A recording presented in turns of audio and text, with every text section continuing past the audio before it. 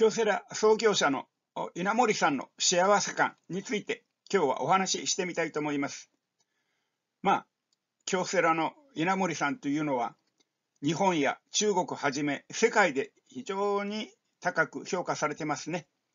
まあ、その第一は実績ですね。京セラを創業したこと。それから KDDI を作ったこと。それから無報酬で JAL を再建したこと。まあ、業態の違うですね、世界的有名な会社をこの世に残したということで大変高く評価されますね。で、京セラのショールームなんか行きますと、創業者である稲森さんの銅像だとか、大きな写真もない。よく、まあ、発展途上国に行くと、大統領とか首相の顔写真が至る所に、えー、見られますよね。これはあまあトップの権威づけに指導されているんだろうと思うんですが、それで稲森さんが評価されるのは、まず実績と同時にですね、稲森さんの経営哲学ですね。えー、まあ、えー、会社は社会の後期であると。稲森さんのぶれない人生哲学、社会奉仕の考えとか、幸せ感とか、質素倹約を大事にする、そういうような彼の経営哲学なり人生哲学が日本人、中国人の心を掴んでいるんですね。それで、まあ、京セラは、まあ、太陽光発電パネルを販売しているんですが、ある時、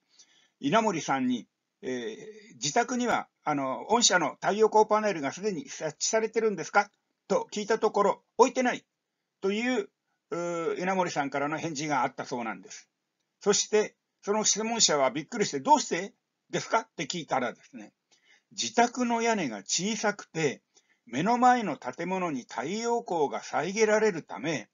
太陽光発電の設置が不可能なんです。こう答えたって、正直に答えてるんですよね。で、質問者はですね、こんなにね、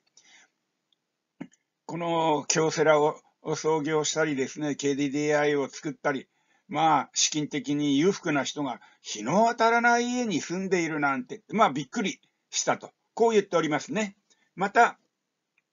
その、稲森さんの幸せ感について、えー、ある方がですね、えー、稲森さんの幸せっていうのはどういうことですかって聞いたときに、稲森さんがこう答えたって言うんですよ。日曜日には夫婦で外食するのが常で、二人でスープに入った麺を一人前だけ注文して、それを二つに分けて半分ずつ食べるんだと。まあ、時には贅沢をして野菜炒めを注文して、それも半分で割って食べると幸せな気分になれるんだという答えがあったと言うんですよ。それを聞いてね、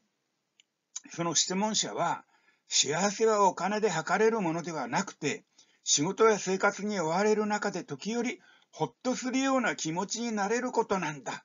と感じたと、まあ言っているんですよね。まあ、えー、稲森さんが90歳で亡くなりましたけど、彼の生き方の中に我々が参考になる点があるんじゃなかろうかと思います。